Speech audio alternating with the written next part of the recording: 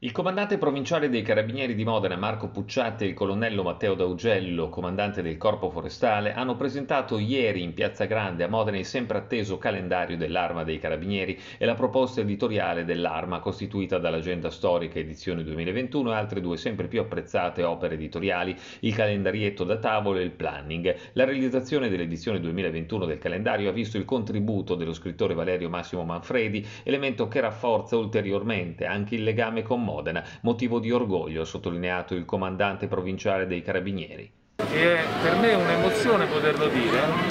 E colui che presta la sua penna e il suo ingegno per poter scrivere sulle pagine del nostro calendario è niente po' di meno che Valerio Massimo Manfredi. Non devo presentarlo, quello che però è piacevolissimo scoprire è che eh, in una data importante per Dante Alighieri, in cui ricorre il settecentesimo anno dalla sua scomparsa, l'Arma dei Carabinieri ha inteso, attraverso, ripeto, la penna di Valerio Massimo Manfredi, ha inteso eh, ripercorrere idealmente la Divina Commedia, prestando i racconti a un nostro maresciallo ideale, il maresciallo Donato Alighieri, toscano anche lui come poeta, che in una giornata come questa, per me è piacevole dire,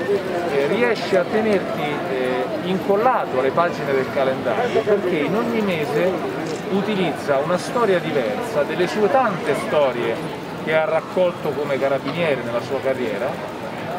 e che quindi ti permettono idealmente di ritornare attraverso il richiamo ai versi della Divina Commedia al percorso tradizionale di un maresciallo dei carabinieri, quelli che comandano le stazioni tanto per capire. E quindi con questa mia grande emozione, questa fortuita circostanza che richiama Modena al calendario storico dell'arma dei carabinieri, io ho il piacere di presentarlo, come vedete mano a mano eh, la collega gira le pagine, ve le fa vedere tutte quante, utilizzando per la parte pittorica e le immagini di un esponente della transavanguardia italiana che è Francesco Clemente. Ora, io non devo aggiungere nient'altro, se non anche una citazione al professore Aldo Onorati, al giornalista Aldo Cazzullo, che conosciamo tutti, che tiene le fila del racconto. Le prime due copie del calendario ho il piacere di donarle al prefetto di Modena e al sindaco di Modena